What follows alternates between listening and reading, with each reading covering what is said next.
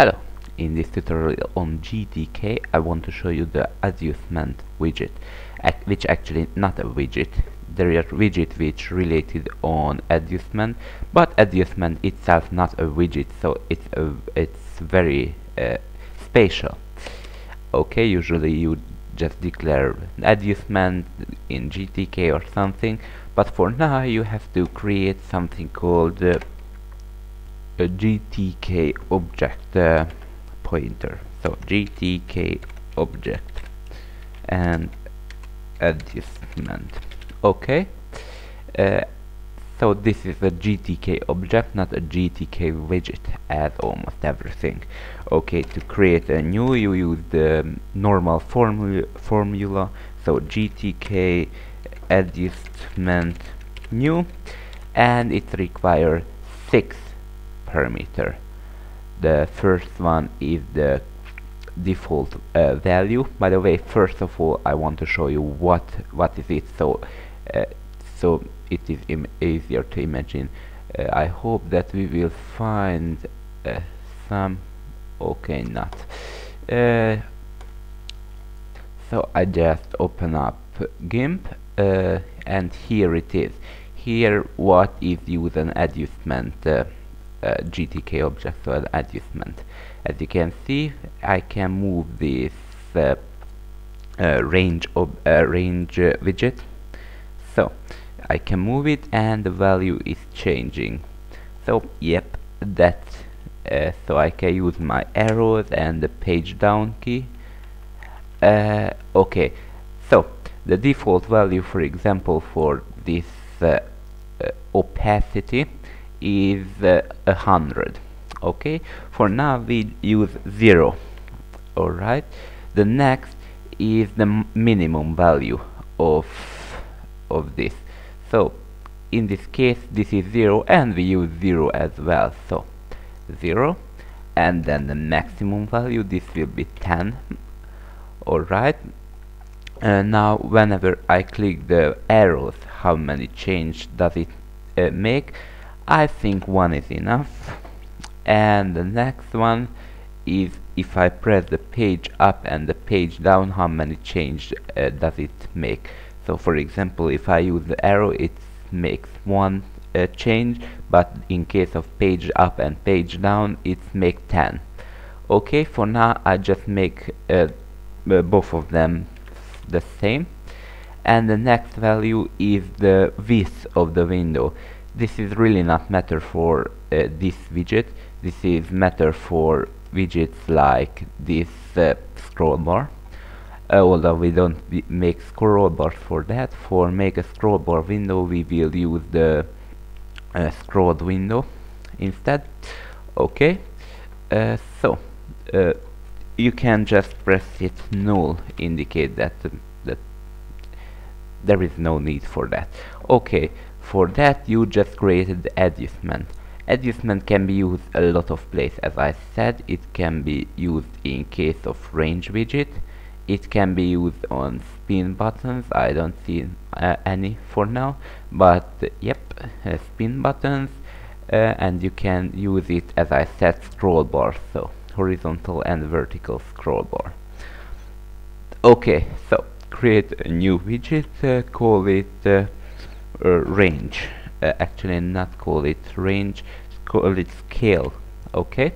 This is a scale widget so make scale equal to GTK and now I think there is something different between the GTK2 and the GTK3 according to the GTK3 API documentation I find that the way to create it is GTK scale new which requires two parameter one is the orientation so GTK orientation horizontal or GTK orientation vertical.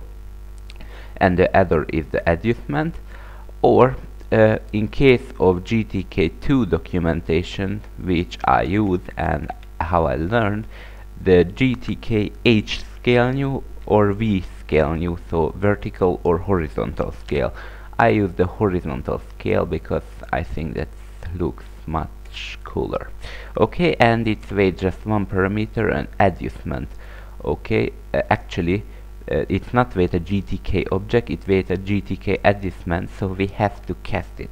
So GTK uh, uh, adjustment and just cast this adjustment to the correct type. Alright that's it and now our scale widget is ready. So we just add to the container and it's ready for use. So uh, gtk container add. Our container is the window. And uh, add this uh, scale widget. Okay. If I doesn't mistype anything this should run now I just have to open a terminal because I did not I didn't. Okay and uh, use the other code because it's a lot of type.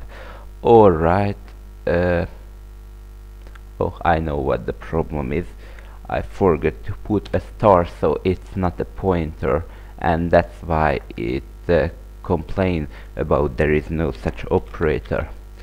Okay uh, alright. It is so small again. Okay here it is. As you can see we can change it uh, from 0 through 10 if I press the arrows it's change 1 every time I press or if I hold down it's change. Okay similar to page up and page down. Okay as you may remember we give the same value to that. Okay that's it although it would be a good idea to read whatever value is in here and now we can we will do that. Okay. Uh, GTK scale actually a GTK range because the GTK scale gets from GTK range is uh, uh, emit a value changed a signal whenever the value is changed. So to uh, grab that signal you use the GTK uh, G signal connect you remember? And the first is scale because we want to uh, examine the scale. The second is value changed. And the third is the callback function. We will uh, write it in a moment. So value changed. Okay and the last is what do we want to pass I think there is no need to pass anything at the moment. Okay just write this function quickly. So static void value changed. Okay gtk oh I again left out the pointer. Okay and g pointer uh, data. Okay which is uh, null at the moment. Uh, yep okay just a simple write out what the value is.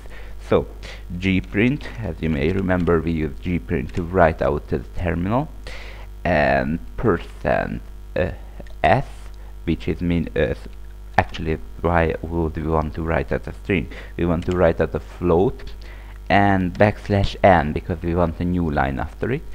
And we use a function for get the uh, value from that scale. By the way if you look look at the API documentation you may expect a function like gtk scale get value. And uh, there is no such function. The gtk scale has no function to get the value.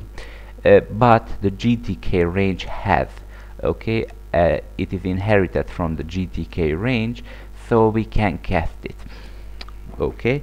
Uh, first of all uh, we use GTK uh, range so range get value okay and we have to cast to GTK range this uh, scale. Alright that's it. Uh, try to compile and run it. Okay no error great okay here it is. Uh, oh we need a terminal so we can see the change. Alright uh, here is the terminal and whenever I change this as you can see it's changing in the terminal. Okay if I use the arrows it changed just once. Okay I just want to show you that. Okay. Uh, you can set where uh, the GTK draw this value uh, the default is uh, top as you may see okay uh, try to make it to the bottom. So uh, GTK uh, scale scale set value pos okay and uh, the first parameter is obviously the scale so gtk scale scale. And the second parameter is uh, uh, where should it uh, put it? So gtk uh, pos bottom. This should be familiar to you from one of the earlier tutorial. I think that was the notebook where we use this push uh, position positioning okay now if I compile it and run it and make it a little bigger okay as you can see it is now draw it to the bottom. If it is in the top or the bottom it will follow the slider or I don't know what is it called. Okay uh, if I put it to the right for example then it will not uh, follow it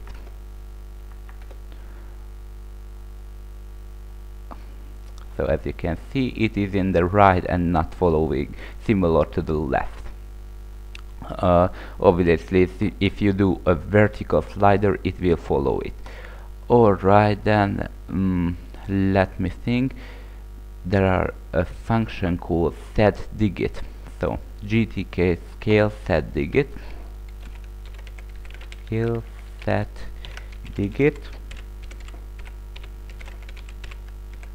this will set the digits. How many digits? So yeah. Uh, for example make it 3 the maximum is 13 I think. Digits uh, okay I think that's what it's called. Now we can compile and run it. And as you can see we have three digits right here. And we can make it very precise.